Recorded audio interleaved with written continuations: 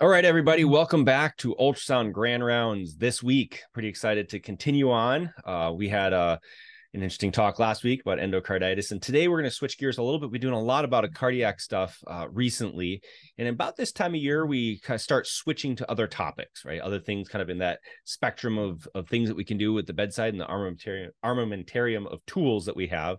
And so today we are going to talk about ultrasound guided venous access, right? This is something that we really haven't covered much on the channel before, um, but something that's definitely within the wheelhouse of what we do with ultrasound because not only do we do diagnostic ultrasound, but we can also do procedural guided ultrasound. And one of the, the lines that one of my colleagues likes to use is if you can do a procedure blindly, you can do it better with ultrasound. And so today we're going to learn about how we can use ultrasound to help enhance our ability to ultrasound guided venous access. So with that being said, let's switch on over to our discussion for today and talk about an introduction to ultrasound guided venous access, right?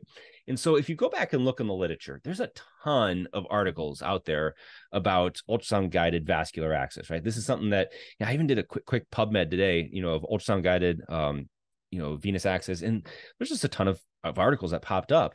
You know i pulled out a cochrane review and there's, there's all these different areas where they're just there's research on every little nuance of, of what articles you know from who does the procedure whether it be a, a, doctor or a nurse or a medic or what approach do you use whether short access or long axis or you know superficial deep you know how what length catheter how long these things stay in. Like there's all sorts of research in this area uh, of ultrasound guided venous axis and it supports the idea that this is a tool that we can use to better the care that we provide for our patients, particularly for those who have difficult venous access, right? And this is one of the things that comes out in some of the literature as well as just clinical experiences. When you have poor venous access, right? Whether you're a difficult patient for whatever reason, it is, and you can't get that IV, you know, line established, it really delays care uh, in, in, the care that we can provide for patients. And it also ties up resources in the department that can be then otherwise utilized elsewhere, meaning their our, our nurses, right? So if our nurses in there struggling for 20 minutes trying to get a line, that's 20 minutes they can't be doing other things. Whereas if I can come in, you know, in five minutes and pop in a line within our ultrasound, that frees up that 15 minutes that gets the patient 15 minutes sooner towards their interventions.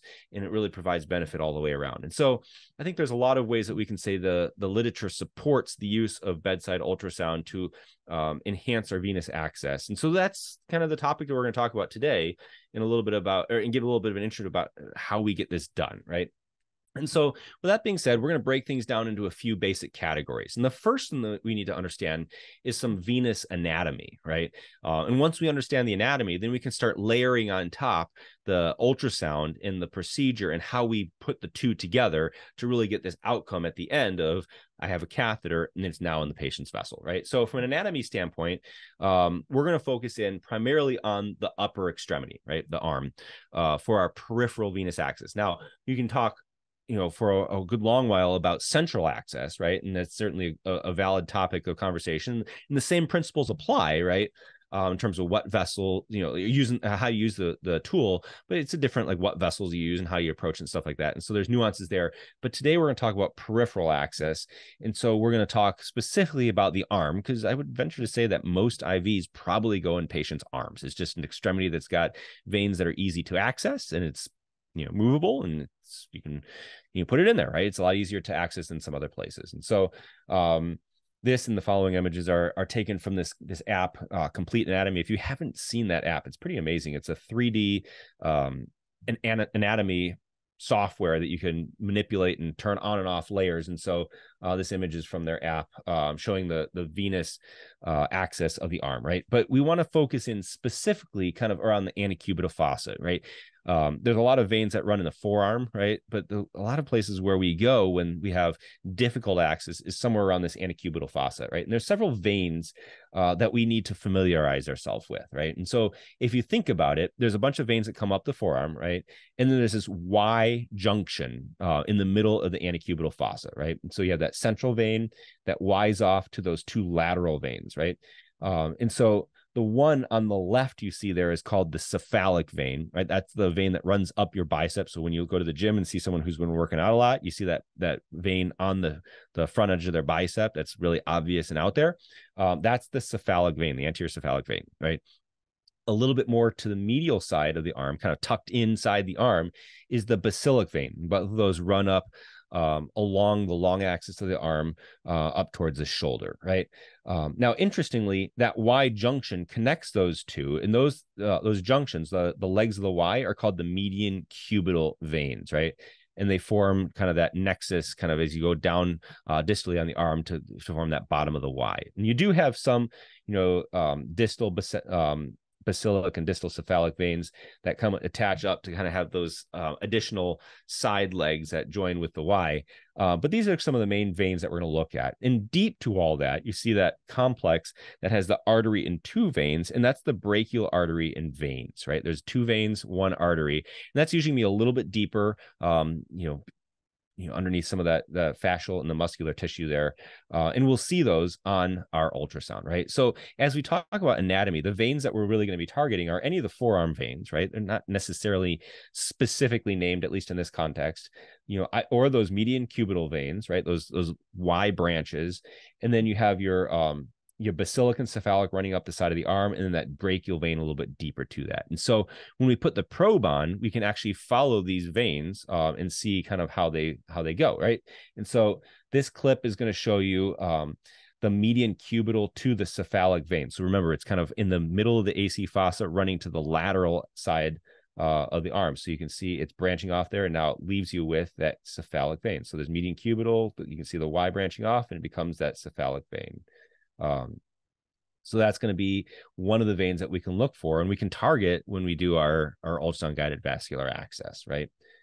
Here's the example of the brachial artery and vein. So you can see it's a little bit deeper. You can see that uh, pulsatile central vein, right? In or excuse me, central artery, and you can see some veins surrounding that um, that's going to have that that vas- that vascular bundle there. Now, this is one of the areas where we're going to see an accompanying nerve, right? So this may limit some of the our desire and ability to go there, um, but it's a vein that's accessible to us in this context, right?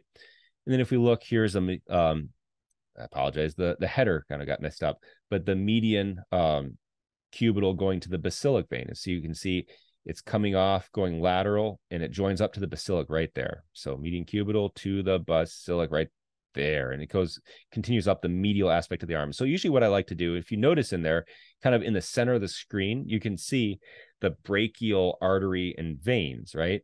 Um, so the basilic, if you find that and then just wrap your probe around medially towards the inside of someone's arm, you'll find it's generally this ginormous, large relative to other vessels, basilic vein kind of on the inner aspect of their upper arm, right? And so these are the various different veins that we're going to be targeting. Um, but I think it's appropriate for us to talk a little bit about artery versus vein. And some of this comes maybe intuitively, some of this you may have heard before, but for those who haven't, um, a little bit of a differentiation of artery versus vein veins and arteries obviously are vascular structures right they're going to be filled with blood and so by definition they should unless they're thrombosed should be anechoic right you should have kind of a black lumen uh, of both of these structures. However, veins, in contrast to arteries, tend to be thin walled. Remember, the artery has those three different layers, right? The intima, the media, and the adventitia. Uh, the veins tend to be thinner walled, right? Because they don't have as developed of an uh, of a of a media layer. Uh, and because they're low volume, or not low volume, but low pressure, they tend to be collapsible. So if you put a little bit of probe pressure on the veins, you'll see those veins collapse down um, and and you can get the anterior and posterior edges of those walls to touch. And that really is the definition uh, of a vein, right? Uh, it also tends to be non-pulsatile, though you can make an argument that as you get more uh, close to, or more more closely positioned to the central circulation, right, to the heart, uh, you may have some reflected pulsatility in those venous structures. And so, um, out in the periphery, they tend to not pulse, but you know when you get closer up, you know, talking about the IVC and things like that, uh, you're going to have some pulsatility. So it becomes a little less uh, diagnostic per se to say that pulsatility is definitively, um, you know, pushes one way or the other. But generally out in the periphery, uh, if it's something's pulsatile, thick walled, and non compressible, it's an artery. And if something's thin walled, compressible, and non pulsatile, it tends to be a vein, right? And so those are uh, characters that we're looking for. Contrast that with the artery here, the one in the center. It's a little bit thicker wall. You can see that pulsatility. Obviously, I'm not showing compressibility, but if I did, you'd see the veins around it collapse and the artery uh, remain patent. Um, now you can make an argument. It's like, yeah, but if I press hard enough, I can collapse the artery. Uh, or if they're hypotensive enough, I could collapse the artery. And you would be right in saying that. Um, but generally speaking, uh, veins collapse at a much lower pressure, probe pressure, than arteries will collapse, right? And so those are w- features that you can use to differentiate one versus the other, right? So, with that anatomical perspective in mind, let's talk a little bit about the equipment that we need to do this procedure, right? Um, because obviously you need the patient, right? You need their anatomy, but you need to set up your equipment uh, to be able to get this done and set it up in an efficient way so that you can optimally get this thing in. And that's what I think the key I've found is is not just having the stuff there and knowing the fundamentals of how it works. It's really set the, setting up the the equipment in the right place, in the right order, getting everything optimized so that you're ready to go. That's one of the keys to success. Um, not just you know knowing that you can do it right? And so the first thing uh, that you need is obviously going to be a machine right? And so uh, this is a picture of um, one of our machines that we have here in the department.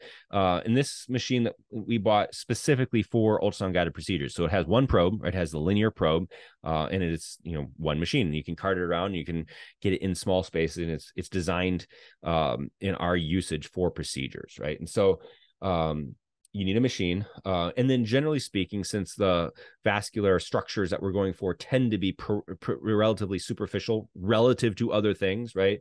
You want the uh, high frequency linear transducer. And so, just as a reminder, the high frequency linear transducer um, is a high resolution because of its, its high frequency, right? It gives you uh, better resolution but shallower ability to to penetrate right? You don't get to penetrate as much you get shallower depth right?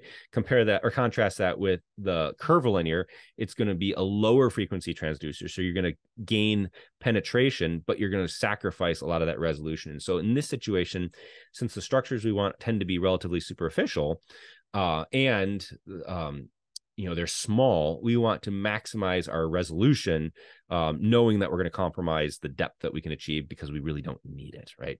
So that's the machine that we need.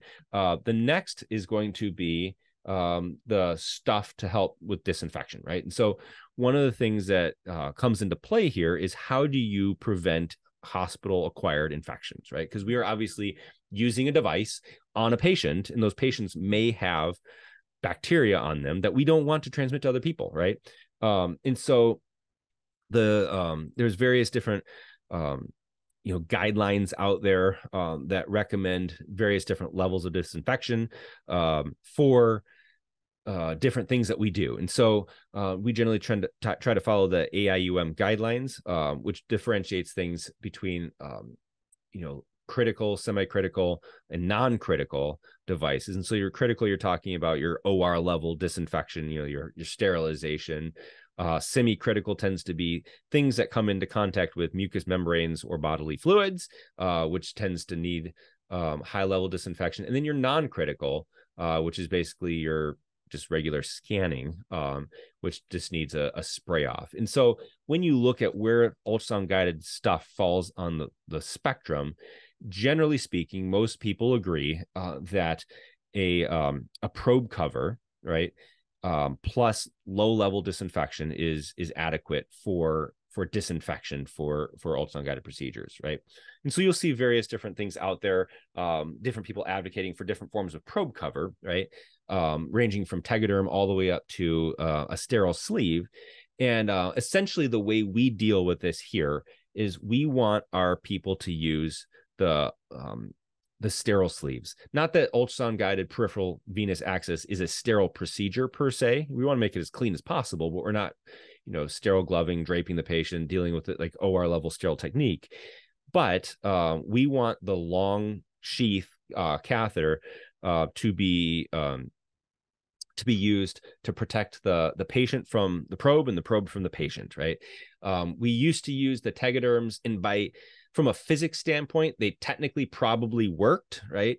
Um, I forget exactly what the um, the pore size on tegaderms were, but it's quite small. I think it's like 120 microns. Um, you know was the pore size on tegaderms which when you compared it to the common bacteria that we're dealing with would be adequate to block the bacteria and viruses that we that we worry about um, but my read of things is that the tegaderms aren't necessarily approved by regulator- regulatory bodies and there's some potential effects that the adhesive could have on the head of the probe and so we tended to say look we've got a whole bunch of these sterile sleeves for sterile procedures we're going to continue to utilize these for our non-sterile procedures. And so if you're doing an ultrasound line here at MetroHealth, what we want you to use for your for your probe cover is just grab one of those sterile probe covers and use that, right?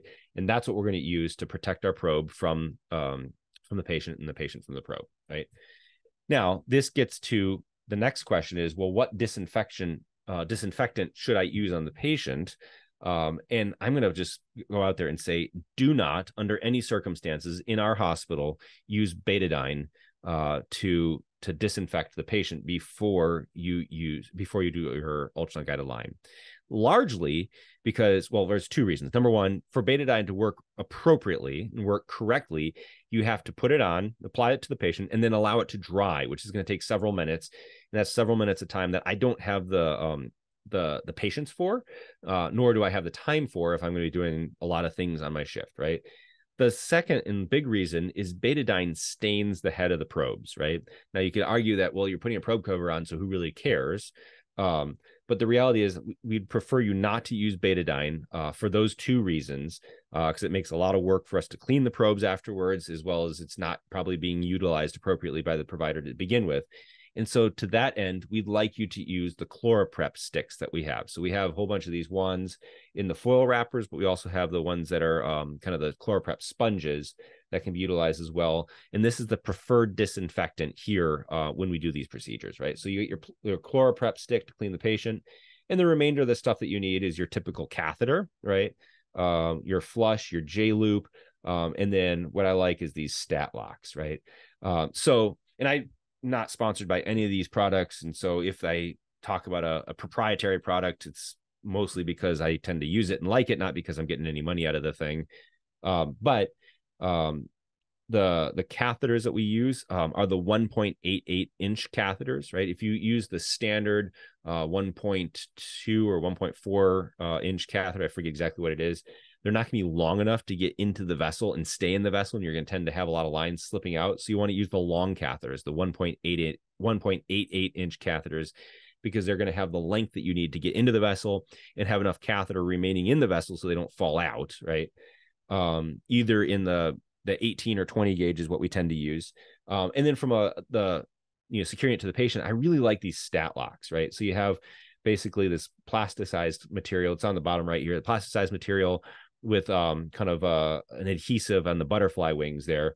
Uh, and that plasticized material fits nicely over little ridges on the the the angiocath, right? And so with a little bit of um, you know adhesive um, material like that tincture um, that's on that's right next to it, the skin prep, um, those stat locks stick nicely uh, and hold the ultrasound catheter in or the, the IV catheter in. And what you'll notice, right, is if you just put a straight tegaderm on, you've just used ultrasound gel on the patient, right? You put the catheter in, um, and when you wipe that gel off, there's a slight gel residue that's left on the patient's skin that tends to be sticky or uh, tends to be uh, slippery and does not allow the adhesive of that tegaderm to to stick well to the patient, right? And so once you put, uh, so it, it tends to not secure it well, right? So I find that if you put the stat locks on, it really secures down that um that IV line, allows you to get a better clean and then a better adhesive um you know, a better adhesion with the the tegaderm that goes over top of the the whole thing. So that's how I like to do it. That's the the materials that I like. Um, and this is what we stock when we do our ultrasound lines here um, at the hospital, right? So we've talked about the anatomy. We've talked about the equipment. Let's talk a little bit about some basic ultrasound principles that we need to remember uh, as we apply this to the patient, right? And some of this is going to be a lot of review, especially for this audience, but maybe it's a good time to go back and review it, right? So, ultrasound in general, big picture, 30,000 foot view, see the whole landscape all at once. Ultrasound, medical ultrasound is the graphical display of reflected sound waves, right? So, I you know emit a sound into the body right? The body does something with that sound and returns that sound back to me. It's an echo right? It's the same thing as if i'm standing out in my yard yelling at my barn right? And i hear my whatever i said echoing back to me right? Um so what the body then does to those sound waves affects what the machine hears back and that machine then displays in a graphical form what it hears back right um, now this sound exists on a spectrum, right? So this is a sound spectrum, uh, and it ranges from really, really low to really, really high frequencies, right? And so if you think about lower frequencies, it's the the frequencies that we use to to talk, right? The the frequencies that you're using to hear my voice, or that my voice is utilizing so that you can hear me, right? Is going to be kind of in that audible range, kind of that 20 hertz to 20 kilohertz type range, right? Um, if you go hop in your car and turn on the radio, assuming you don't use podcasts like I do, if you actually turn on the legit radio and tune it into some station, right? That's going to be up in the 80 to 102 ish megahertz frequency, right? That's just your regular radio frequencies. So somewhere in the middle of all that is ultrasound, right? And ultrasound lives in about the 1 to 20 megahertz frequency. So it's just the the wave, you know, this, you know, electromechanical wave that happens right along this frequency spectrum ultrasound sits right in there and so all the principles that apply in physics that govern my voice and the radio also apply to ultrasound right and so what the machine does is it sends these short bursts of sound into well out of the probe and you know, because we're putting on a patient into the patient's body, right? And it sends it out at a particular frequency and at a particular rate. Um, that rate is adjustable based on the depth that you set and things like that. Um, and then it listens back in those pauses. So it sends a pulse and listens, and sends a pulse and listens. And what it hears back, then it will display as your image. And so when you get things coming back, if it takes less time than other signals to get back, it displays it higher up on the screen. If it comes back at a loud a higher amplitude or a louder you know volume essentially it displays as brighter. If it comes back as a lower amplitude or a lower volume there's been attenuation it's going to display it as darker right? And so with all of those echoes returning back then the machine can kind of map out you know where this thing is coming from and kind of what the picture looks like and all of a sudden you know that square and that circle that you you know bounce the sound waves off of can be displayed on the screen in something that resembles reality right? And so that's how medical ultrasound works. And now just take it instead of a square in a box right make it the complexity of the human body right? So you have the liver and the kidney and the spleen and all these other things right that you know that reflect sound waves in various different ways and different attenuations and how it scatters and then you get this variety and this variegation uh, of of the color, of the grayscale in the, in this case, um, and the location that represents the human body. And so, one of the ways that I like to think about it is kind of imagine yourself walking in the woods, right? and you have a flashlight, and it's kind of foggy, right? Um, if you shine the flashlight, you're going to get this beam that's emitted from the flashlight, right? And if you had a third party observer who's standing off to the side, looking kind of, they can see you and the beam spreading out in front of you. Whatever that beam hits, right, is going to be what kind of analogous to what the machine's going to display on the ultrasound, right? And so you may see a tree and a rabbit and another tree and a deer and all these other things kind of in various different stages or in very different places, you know, distant from your beam. Um, and that's going to be kind of the representation of what you see on the ultrasound screen. Imagine your probe's the flashlight, and the body is kind of that woods in the fog, uh, and you can kind of see those those things that are displayed. If that makes any sense, right? So that's kind of how ultrasound's produced. Uh, now, one other thing is that science or medicine is the well science right is the art of the reproducible thing right um, and medicine tends to be as scientific as possible right? And so one of the things that we want to be able to do is reproduce what we the findings we have right?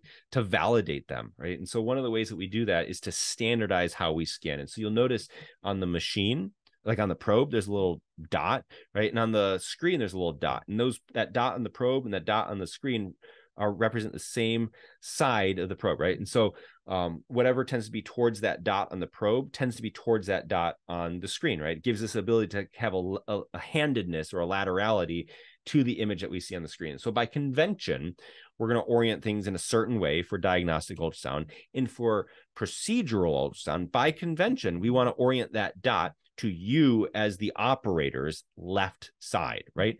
Mostly because when you look at the screen, the dot is going to be on your left side, right? And so it's a whole lot easier for your mind to comprehend what's going on when you have the patient oriented the same way and the screen oriented the same way. So if you move your needle to the left, it actually goes to the left on the screen. If you move your needle to the right, it goes to the right on the screen. And so if you think about it, you know, this is totally different for um, diagnostic ultrasound, but for procedural ultrasound, right? You want that probe indicator to be to your left so it ma- minimizes the amount of confusion of things that you'll see on the screen, right? So that's kind of ultrasound basics. Let's take the next step and talk a little bit about machine ops, right? And how we can make this machine do the things that we want it to do so that we can get the outcome that we want, right? Because you have a car, right? The car does you no good if you don't know how to operate it, right? If you don't know how to put the key in, turn it on, push the pedal, actually get it out of or get it into drive, push the pedal and steer the thing, right? So just like a car has certain functions that it can do and features that it has um, that make the experience either easier or a whole lot more comfortable and pleasurable um, the machine here does the same thing right so there's some three basic functions we want to cover and then five or four different uh, settings that we can do to make things better, right? so the, the three basic functions are this 2D or B mode, M mode, and Doppler, right? And so 2D mode is essentially just drive. You know, you put your car in drive and boom, you're off to the races, right? It is going to be the standard scanning mode where you get just this 2D image of what's going on inside the body displayed on your screen, right? It's in the grayscale it's kind of when you associate ultrasound with something it's it's this right? And so um, the picture on the right here is our procedure machine. Um, and i usually give this lecture to our our nurses uh, to teach them how to do this. And so i want to show them the machine that they're going to be utilizing. Um, but it's that bottom right button that 2d button on the screen. And one of the things that i like to say is generally if you get yourself lost in some window some setting something on there. Most machines if you hit 2d or b or whatever represents that function it kind of brings you back to this home screen right? And so that's going to be the majority of what we're going to do um, when we do ultrasound guided vascular access. The other modes i'm going to tell you about just to, so you know about them but not really going to need to utilize them for vascular access procedures right? Um, so the second mode is called doppler. This would be analogous to let's say putting it into you know putting your car into that you know a different gear right? Or putting it in reverse or something like that uh, putting it in a different function. Uh, and so doppler is essentially a color overlay or color or graphical overlay um, on top of the 2d mode that allows us to see movement right? Allows us to see the movement of something generally blood inside vascular structures right? You can see um, utilize the doppler principle to show movement of something toward or away from the probe um, and depending on what type of doppler you're using, you either qualify it as in color doppler or quantify it with spectral doppler we can actually get a velocity of movement in that structure right? And so we've had a lot of lectures on that over the course of the time uh, on the YouTube channel. You can go back and look at, you know, you know practical examples of doppler on some of our cardiac videos. Um, but that being said in this context it's something that you can utilize to see flow. And so sometimes what i'll do if i want to confirm you know where vascular structures are if it's a difficult patient is you can throw color on um, angle toward or away from um, you know from perpendicular you don't want to be perfectly perpendicular but toward or away from that and then see what lights up and that gives me okay now this is where my eyes need to focus then turn it off and i can adjust my other settings to to optimize that image right? And so that's something you can utilize. The third function is called m mode right? Um, and so this is basically another motion mode where it shows um, everything under a certain line. So you can see on the top part of the screen, there's a, a heart and there's a line that's that's going through the heart. So everything underneath that line displayed out over time. So um, you can see in the bottom part that that display is basically millisecond by millisecond the this what you would have seen on the screen right displayed over over a period of time so in this situation we see the movement of that mitral valve uh, through the passive filling the e wave and the atrial kick the a wave uh, over three beats there, right? Um, so I'm not seeing the movement of the blood flow, right? That's Doppler, but I'm seeing the movement of the valve in particular because that's what my line's going through um, as this heart's going through its cardiac cycle. And in the context of ultrasound guided procedures, it's not really a function that we utilize a lot. It's something we use more in things like a cardiac application or an OB application where we're really looking for, you know, what what particular movement is happening in a structure or is there like a heartbeat you know in in our our first trimester ob studies right? So mention it there just to kind of round things out. But that leads us to the four basic functions that we want to be able to utilize to appropriately do our study or to in the analogy that we're using to drive our car right? And so this would be like turning on your headlights honking your horn flipping on your windshield wipers and i don't know turning on the radio doing something else right um, so the first one is preset. Pretty much every machine you encounter is going to have presets, right? They come straight from the factory with certain presets. And then most machines allow you to be able to customize presets to your liking. So if there's a particular application that you want to tweak and make it for just you, uh, you can customize that and save that. And so a lot of our machines um, have the standard factory presets, and then we've tweaked some to kind of fit the way we like it to work, right? And basically, what these presets do is they say, here's all the different things that the machine can do depth and focus and gain and, you know, grayscale maps and all sorts of other stuff. We're going to set it and do a preset so that when you hit this button, all those change to what you want, right? And it's application specific because for a cardiac, I want something totally different than if I'm doing a fast exam or if I'm doing, you know, a first trimester or a gallbladder or something like that. And so by doing preset, I can, you know, instead of having to go fix 20 different things. I can set them all at once, right? And so the first thing you're going to want to do when you're doing your any study is pick the preset that most closely approximates the study that you're intending to do, right? And so in this situation, you know, if there's a vascular access or a venous or a superficial, you know, preset, that's the one you want to pick because it's going to basically set all the other parameters for you um, and optimize things a little bit. Now, from there, you're going to have to tweak things a little bit um, and the next one's going to be gain, right? So gain is essentially how um, brightly does the machine display the signal that's coming back. So it has nothing to do with the amount of signal that's sent into the patient's body. It really doesn't do any have anything to do with how much is sent back to the body, but when that the machine receives that signal, right? How much amplification does it have to apply to to view that on the screen, right? So if you turn your gain down, it's going to be really really dark you turn your gain up, it's gonna be really, really bright, right? And so you want to find that sweet spot in the middle where your highlights are not blown out, right? And your shadows are not all muddy, uh, where you can kind of see this nice broad range of of um of grayscale in your image, right? And I can't say that there's a perfect gain setting, right? I've never learned you have to go to this setting. It's always you kind of tweak it until you find out what's just right. And for those who are, you know, who enjoy photography, or image manipulation on the computer. This isn't a hard concept to get your head around, right? This is the same as the the brightness slider uh, in a lot of your photo apps, um, you know, or kind of adjusting your exposure on your camera, um, you know, to to to turn up or turn down the brightness uh, of your image, right? So that's gain. The next feature is called depth, right? And it's exactly what you'd expect it to be. How much penetration are you asking the machine to perform or to to to give you right? Are you looking at five centimeters or are you looking at 15 centimeters?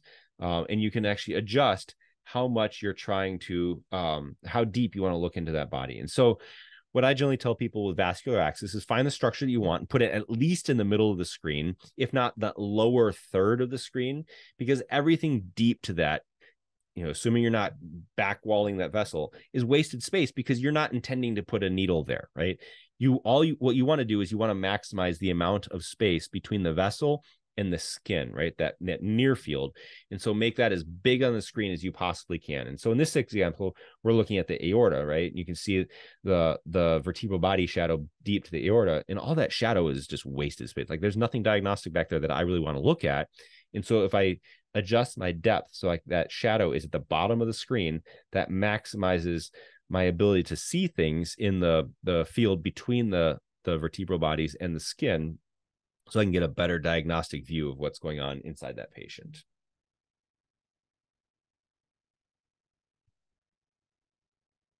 The next one that we want to talk about a little bit is frequency, right? And generally speaking, each machine will have some button that allows you to change the frequency, right? Um, it may be coded in some you know language that would um, suggest the application as opposed to you know the physics but basically um, it's going to be a button that's going to toggle between you know a general a penetration or resolution mode or you can toggle through you know a frequency setting. Um, but what that's going to allow you to do is adjust that balance between do i want to see deep in the body or do i want to see sharply right and so if you do it on the free the the, the resolution mode you're going to see more of a crisp image but you're going to not you're going to lose out on some of your depth ability whereas if you go to more of a penetration mode, it's gonna things are gonna look a little bit fuzzier, but you're gonna be able to kind of penetrate a little bit more deeply. And in this situation, the, the skin and superficial or the skin and soft tissue where we're doing the vascular access, probably we're shallow enough that it's not gonna have a huge effect, but it certainly can be a you know a game changer as you're scanning kind of abdominal um you know applications and looking for looking a little bit more deeply in the body. So uh mention it there.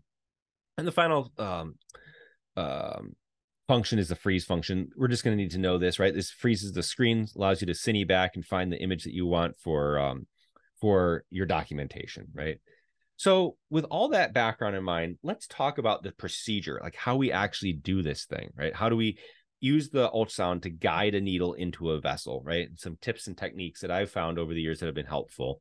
Um, and then you know the the other aspect that unfortunately this video can't help us with is just you got to do it because you need to not only learn the the didactics of how it works but also just the the psychomotor cord or hand hand eye coordination to be able to to make the thing happen right um, but let's talk about the procedure for a little bit so indications for this procedure um, in our protocol right this is the protocol i took this from the protocol that we've um, adapted for our nurses right um, what gets you into this this line of thinking is essentially two failed landmark attempts, right? A history of needing a ultrasound guided IV in the past, or you look at the patient like there is no way I'm going to get this with you know landmarks. I need to to use my ultrasound, right? Those are the three things that my nurses can rely on to to get them in the protocol. You know, as physicians, we can maybe expand that a little bit. Um, you know, if someone's coming to me for IV access. You know, I'm not good just doing it by landmarks because my nurses are amazing, right? And so I'm probably gonna, just going to go to ultrasound to begin with, you know, because you know it's going to help me get it. Now, on the flip side, they're probably not coming to me for access because they've, you know, unless they've like ridiculously failed they need the ultrasound. So, um, you know, whatever you happen to write is your protocol. This happens to be ours, you know, because I needed to have a way of telling the nurses, okay, here's what you do right? Here's when you do it and here's when you don't do it. So this is kind of what gets you into the into the procedure for us right? Um, so that's the first step is find someone where the you know the procedure is indicated right? Um, and the next step is go through and find the the the target that you're going to be looking for. So you know put the um put the rubber band tourniquet on scan up and down the arm find a structure that's going to be uh, suitable for you being able to do it right and criteria that are uh, good for suitability is number one, it's a vein, right? So it's anechoic and compressible. And number two, it tends veins that tend to do well with ultrasound guided lines is veins that are within a centimeter and a half of you know from the skin surface, right? And if you think about it, geometrically speaking, if you get further than that, you know, or deeper than that, deeper than a centimeter and a half, some people maybe we can push it to two. You're not going to have enough catheter length to stay in the vessel because you have to think how much catheter am I, I going to spend getting to that vessel? Because you're not going straight down right? So i'm going to be spending at least you know at the very minimum if I, if my depth is a centimeter and a half you know probably closer to two two and a quarter you know centimeters right? So i'm already up to maybe even two and a half so i'm already up to you know an inch right uh, of catheter length just to get into the vessel and now I have to have a significant amount of catheter in the vessel so it doesn't just fall out. And this is why we use the 1.88 inches, like the almost two inch catheters, because in that scenario, if I'm at my total depth of a centimeter and a half, um, you know, it's gonna it's gonna leave me just on just under like three quarters of an inch uh, a catheter in that vessel. You can do the math, right? If you go in at a perfect 45 degree angle, um, you know, whatever your depth down times, you know, the square root of two, which my, my memory serves me correctly is 1.7 ish. Um, that doesn't sound right. Anyway, um, whatever that length is, you're going to have to be longer than that to get your catheter in the vessel, right? Um, other criteria that would, you know, be important for for vessel selection is is it something that's going to be a decently large and decently straight vessel, right? Some vessels are so small that you know you can put a put a needle in it, but it's just small enough that you're not going to be able to get that catheter to easily thread because it's just ridiculously ridiculously teeny. You know, on the other hand, you know, you may have a large vessel that just has this tortuous path. And so you get the catheter in and you're just curve after curve after curve that you're going to have to negotiate. And so finding that balance between something that's superficial enough, large enough, large tends to be, you know, relative to your skill level and then straight enough that you're not going to be constantly like going into you know a valve or to a y junction you know or um or some curve you know you have a little bit of a runway to land your catheter once you're inside that vessel right? And so the first key thing after you've started is just scan up and down the patient's arm and find the vessel that's really appropriate to utilize right? Spend a little bit of time preparing and planning and thinking through okay how like where can i poke the skin? How is it going to not be affected by the patient moving their arm where can i land this thing uh, so i can i can set myself up for success right and then the next step after you kind of got all your supplies ready is okay, how am I going to approach this in plane versus out of plane, right? And I'm going to spend a little bit of time teaching you the out of plane technique because I think that's probably the the better technique um, to do um, ultrasound guided uh, peripheral venous access.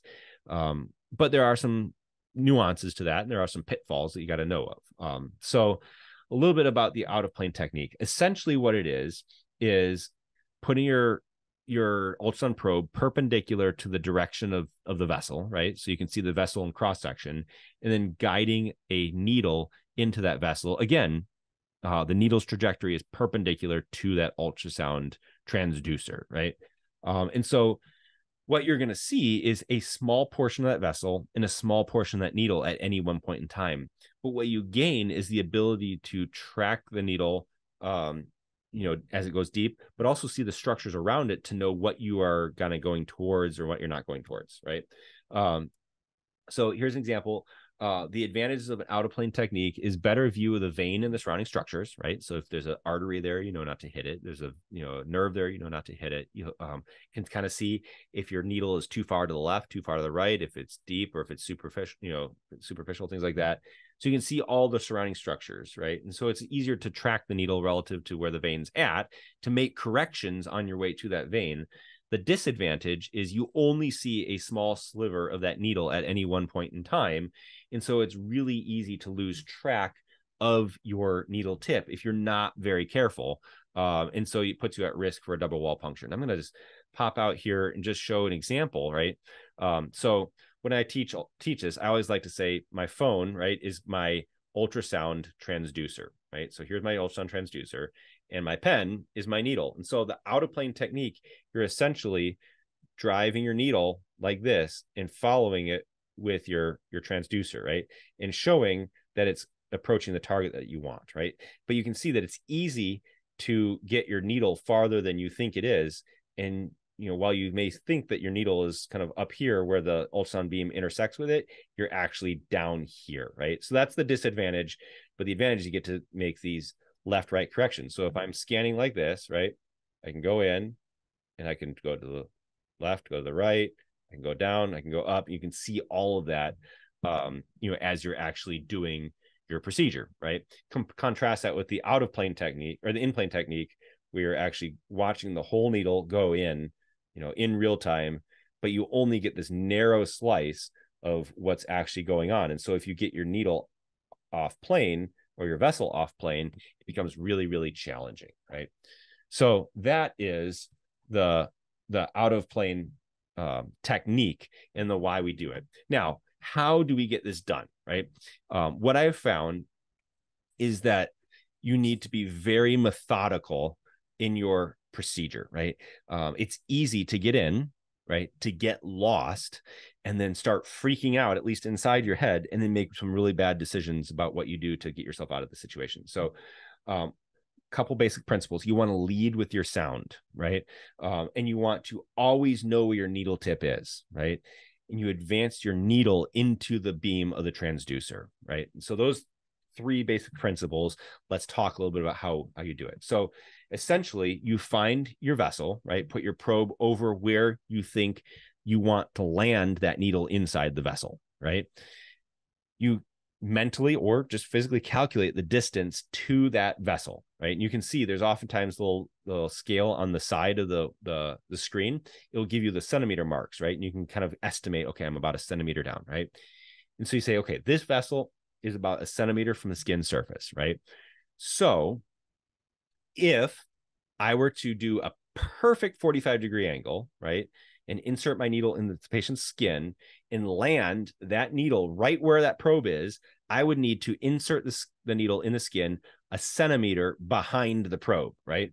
So there's where that kind of you can use the you know the the geometry, right, to kind of make that estimation and insert your needle into the skin surface you know, behind the probe. So cutting back here, kind of slow this down here for a minute. Here's your your um ultrasound probe, right? Your vessel is down here. So there's a certain distance that I need to travel to get to the, the vessel. If I take that distance and estimate kind of what that is, I can say, therefore, my insertion needs to be behind the probe that same distance, right? Going at about 45 degree angle. So get in the skin surface just like that. Okay.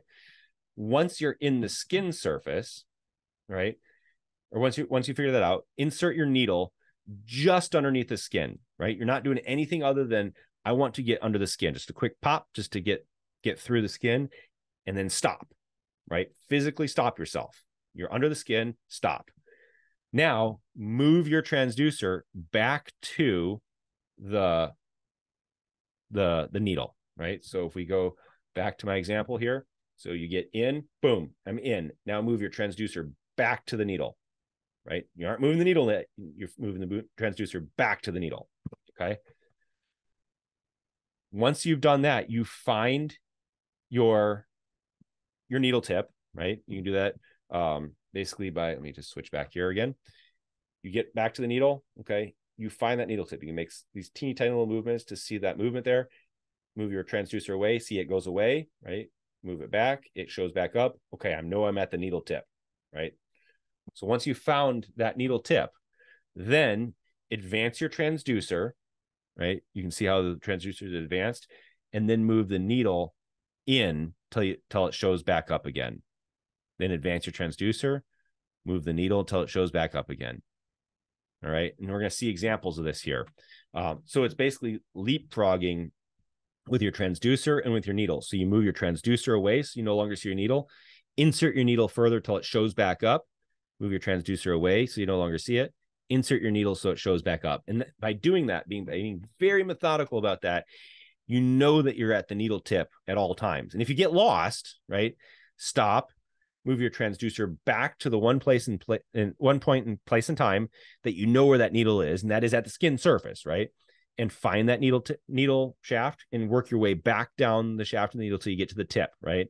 And once you've re- rediscovered the tip, then you can proceed on with your procedure, right? And so what we see in this clip here is an example of you see that kind of shimmer show up in the near field, and then you move your probe away so it disappears, and you insert a little bit more, and then it shows back up again. You can see it showing back up again a little bit deeper, right? If we do kind of advance to the next one, you see it now eventually showing up inside that vessel, right? Um, so you kind of do that leapfrog until you get to the vessel, right? You insert it into that vessel. Oftentimes, when you get that to get through that vessel wall, you need just a quick sharp pop, and that gets that needle tip inside the vessel, right? And you'll see this bright thing show up in the lumen, right? At this point, you are really only about half done, right?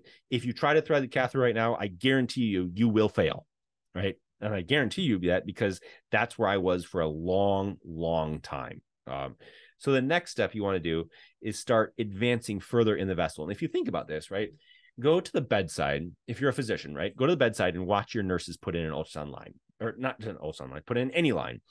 There's a particular technique that they use where they put the vest, the, the catheter or the needle in, right, and then there's a hook that they do with their wrist as they kind of get in that vessel, right? And we're going to replicate that hook in these next series of steps, right?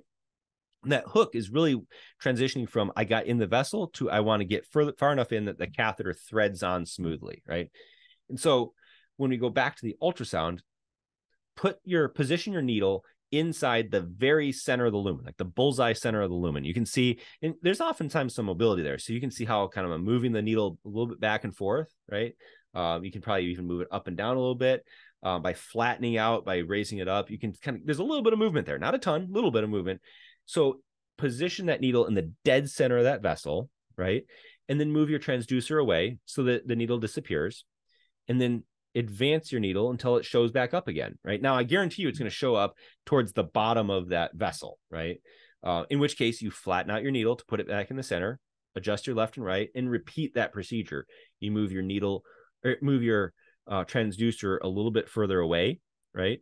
And, and I'm talking about millimeters here, and then insert your needle until it shows back up. Okay. Flatten out a little bit more, move your transducer, insert your needle, right? And you do this, you know, three times or so, uh, and you get you basically what you're doing is you're getting that needle and that catheter far enough in the vein so that when you have that slight you know jarring movement of setting your probe down and trying to advance your catheter, it's going to go on smooth, right? Um, and what I found is since I've started doing this technique, my success rate has risen dramatically. One of my t- medics taught this technique to me years ago. Um, and doing this simple technique uh, really helps improve your ability to get this ultrasound done or this ultrasound line done right? And, it, and as i was thinking about it and kind of watching what i was doing and watching what my nurse is doing i realized it's the exact same technique they're using with landmarks where they just kind of that hook of the wrist. I'm just breaking it down step by step by step by step with my ultrasound machine. And so um, with that said here's a video um, we're going to play here in just a sec. This is actually the other day one of um, one of my nurses was doing a line on me so i'm the patient here so i've consented myself uh, to be publicly displayed. Um, and essentially, um, what you'll see is it's subtle, but watch uh, how he does it. He gets the, the, the catheter in, right? We go in a little bit deep uh, because it's such a superficial vessel, uh, has to redirect a little bit. But then once he's in that vessel, watch, you'll see the transducer move and then you'll see the needle move. And I'll, I'll narrate this as we kind of go through it here. Um, but essentially, we get in, right? And you can see a little bit of movement just to the left hand side of that vessel. See, we're a little bit deep, so he redirects and gets inside the lumen of the vessel right there, right? And now we can see that that catheter there. He tries to center it up and does moves the transducer a little bit and then inserts the needle a little bit further. You see it show back up, right? Then he'll move the transducer. And then the needle will kind of, you see at the bottom of the lumen there, he's kind of looking, kind of advancing kind of what else is there, coming back, seeing it in the center of the screen, moves it, inserts it a little more. And eventually he gets to the point where he's done it enough times that he will thread that catheter on. Coming up here in just a minute. You see that subtle movement where he moves the transducer and then advances the, the needle, moves the transducer, advances the needle, and now the catheter goes on really smoothly. And we can see the catheter that's left in the lumen of the vessel. Right? J loop is attached, and the rest is history. So that there is the basic procedure, right? And I think the key is to really discipline yourself to be very methodical. You move the transducer so you no longer see the needle. You advance the needle until it shows up right? You move the transducer so you no longer see it, advance the needle so it shows back up. And if you keep that in the center of the lumen, once you've kind of achieved your initial flash and you know and, and um, access of the vessel and do that several times, then the catheter will slide on pretty smoothly. So uh, a couple troubleshooting things here um, that you may run into because you do this enough, you're going to run into some issues, right? Uh, if you get lost, right, stop everything, right? Stop moving your needle moving your needle is not going to help you get unlost. You need to basically backtrack a little bit, find your bearings, get your bearings, get your landmarks, and then move forward. And so that's why I say move the trend the transducer back to that point where the the needle enters the skin, right? The point of entry, and then follow that needle signature down the needle until you get back to the the needle tip, right? Um, and there can be some slight like wiggling movements just to kind of help highlight that that needle shimmer um, but don't continue moving your needle further in if you don't know where your your uh, needle tip is, right? Uh, and so that's really the main thing that's going to help you troubleshoot. Sometimes you just have to back out um, and kind of reapproach it, but first stop. Try to troubleshoot it with your transducer, not with your needle, right? Couple pitfalls. Obviously, trying to put a catheter in a thrombose, thrombose vessel is not going to work well, right? So hopefully you've done a good pre-scan. You know that the vessel is patent uh, in the area that you're trying to go for. Um, so obviously don't do it in the thrombose vessel.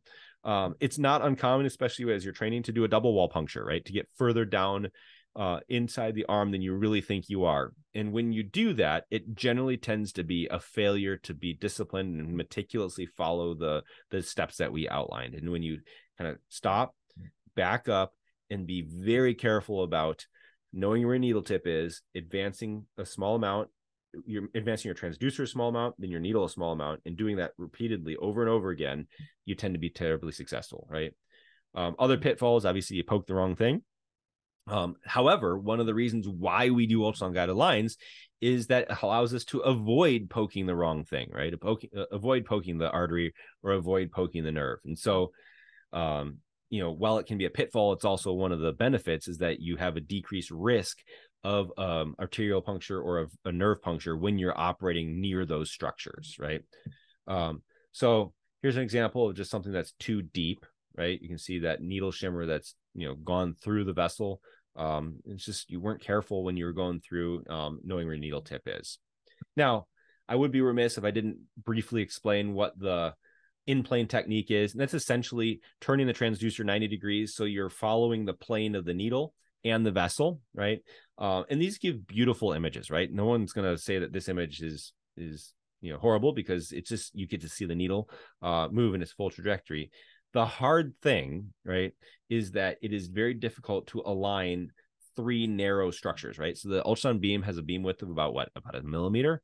The needle has a, a needle width of about a millimeter, and the vessel may be a couple millimeters across, right? And so to keep all three of those in line um, is actually really challenging. Um, so it's a valid technique can be used. There's some literature that would support it. Uh, however, I think it's difficult um, to do that. And there's the additional disadvantage of you don't get to see what's around the vein. So if there's a nerve, if there's a an artery, you don't get to see those, have that situational awareness of kind of what you're, you know, what you're operating around, right? So with that being said, I'll leave you with a couple tips for success and we'll wrap things up, right? Number one, follow your target, you know, proximally to distally before you do your procedure, right? Scan, know your territory that you're operating in. Um, and that gives you an ability to really identify the prime target of where you want that needle to land inside the body. And then from there, you can kind of backtrack and say, okay, from from that place, where do I need to insert my needle in the skin so that I can hit where I want to land, right? Um, find the place where the vessel is the most superficial as possible or is, is the closest to the skin surface as possible right? It's going to be a lot harder to hit it deeper than it will be to hit it shallower. That being said sometimes that's not the best place because it's this really you know small caliber superficial and if you go up or down a couple centimeters it becomes bigger within an acceptable depth range. And so it's all about finding the balance of those different criteria that we utilize to um, to find or to to pick a target, but generally superficial is going to be one of the the prime prime reasons why you pick a target, right? The third thing, and this didn't we didn't really talk about this much today, although we've talked about in other uh, lectures, is position yourself in a position of comfort, right, for yourself and for the patient, right? There's a if you want more on this, go back. We watched it. We did a video um, a couple years ago about the ergonomics of ultrasound, right? Um, but basically, if you put position yourself uh, in a position of comfort, it really enhances your ability to get that thing done. Not only just you're not uncomfortable, but like if you put even as little as put the machine in a place where you can look directly up from the arm and you can see the machine, so you're not craning your neck to look around and find these other, you know, really weird angles. Right? You'll hurt yourself and it will decrease your success if you have to do something funny. So sit down, get the arm next to you, get the machine in front of you, position everything for in a position of comfort. Right? Um, going along with that have your supplies at the bedside right? Put all your supplies together have them in easy reach easy visual view so that you're not again turning around trying to keep things steady while you're finding some supplies. Just have it all ready to go. That's really going to set you up for success. And the last one this was put in um you know not by someone kind of who put portions of this lecture together. Um, yeah, if you might need some anesthetics. I generally don't do mine with topical anesthetics. I know I had when I was a resident, I had one attending who one time made me do um, a little lidocaine before a um, an arterial puncture for like an ABG. Um, I'm not entirely sure it provided a ton of relief because you're already poking the patient for that. Um, but if the situation you know dictates or if it's a central line or something like that maybe a little bit of topical anesthetic uh, to decrease the discomfort of the patient uh, may be helpful or i mean maybe we can talk about kiddos right you have those um, either distraction devices or a cold topical device that kind of provides a brief amount of anesthetic before you have to make your poke. Um, things just to make the patient's life a little bit easier. So, anyway, that's kind of what I got for ultrasound guided vascular access. Um, you know, the the basics of the anatomy, the machines, the operations, the procedure itself, how you get it done. And you can take this procedure and then start applying it to various def- different vessels in the periphery and in the central vascular area. Um, and you'll start seeing these techniques kind of replicate over and over again um, in various different vessels. So, with that being said, any questions uh, about this topic, um, you know, or things that pertain to ultrasound guided vascular access?